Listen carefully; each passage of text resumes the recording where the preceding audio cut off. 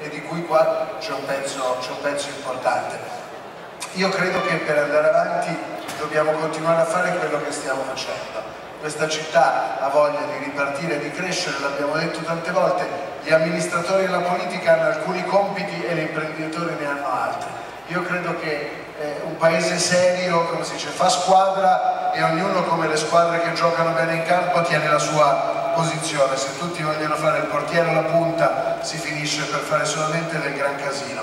Allora, qua dove stiamo adesso tra un anno, tra due, non lo so, guardo il sindaco, ci sarà il waterfront di Renzo Piano, c'è bisogno che questi progetti vadano, marcino, c'è bisogno del codice della parte salti, perché abbiamo tenuto fermo questo paese troppo, abbiamo soldi per investimenti, ne parlava prima credo il Presidente Signorini che non riusciamo a spendere, c'è bisogno di metterli in circolo, c'è bisogno di far ripartire questo paese. Meno, meno, meno, meno, meno regole molte più opportunità per tutti, anche a costo di rischiare qualche cosa in più, ma se noi non competiamo con i, con i migliori del mondo, se noi non abbiamo strutture competitive a livello di sistema, non arriveremo mai. Genova è diventata una repubblica marinara in un posto piccolo così, ha combattuto con l'impero ottomano, con dei colossi che avevano milioni di abitanti e ricchezze superiori. Perché? Perché era veloce, perché aveva la finanza che funzionava, perché aveva il know-how, perché aveva un sistema di impresa e di logistica che anche a loro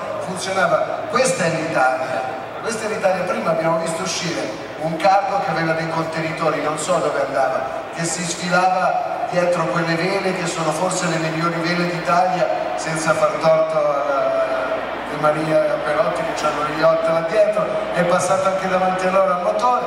Allora, questo è il sistema paese su cui dobbiamo puntare, con molte meno regole, molta più capacità di attrarre investimenti, molta più capacità di usare i nostri cervelli di ascensore sociale. Vale per tutti. Abbiamo tenuto bloccati investimenti pubblici, abbiamo tenuto bloccati investimenti privati, abbiamo pensato che in ogni cantiere che si aprisse in questo paese si annidassero più ladri che ingegneri, è vero, la corruzione in Italia è un fatto gravissimo, endemico, ma non possiamo essere cornuti e mazziati, non possiamo tenere chiuso un paese perché abbiamo paura di noi stessi. Troviamo delle regole che funzionano, lasciamo a loro fare impresa, lasciamo che la politica faccia un bel lavoro di disboscamento e facciamo in modo che chiunque faccia impresa in questo paese possa assumere persone, farle crescere, farle progredire, dare una mano al sistema delle università con i un sistema di competitività che ci porti a competere con chi? Signori, il 6